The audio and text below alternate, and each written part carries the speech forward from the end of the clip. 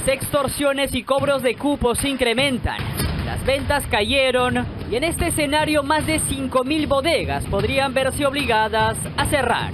El sector bodeguero ha tenido una caída de más del 50% durante, desde el mes de abril.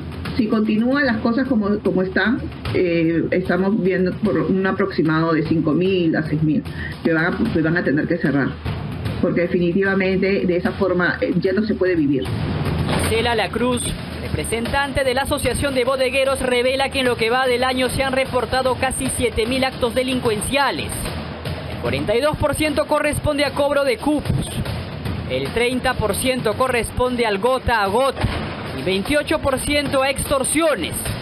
En su mayoría no realizan la denuncia por miedo a represalias. Atrapan al, al extorsionador y el extorsionador no, no, no cumple una pena, porque no hay una pena. Sale.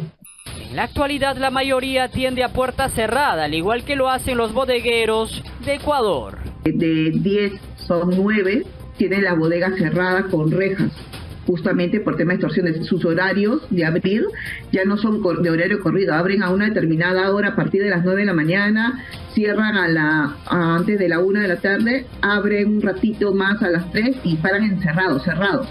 La Cruz exige a los operadores de justicia el cumplimiento de las penas. De ser necesario, piden que el Congreso legisle para protegerlos.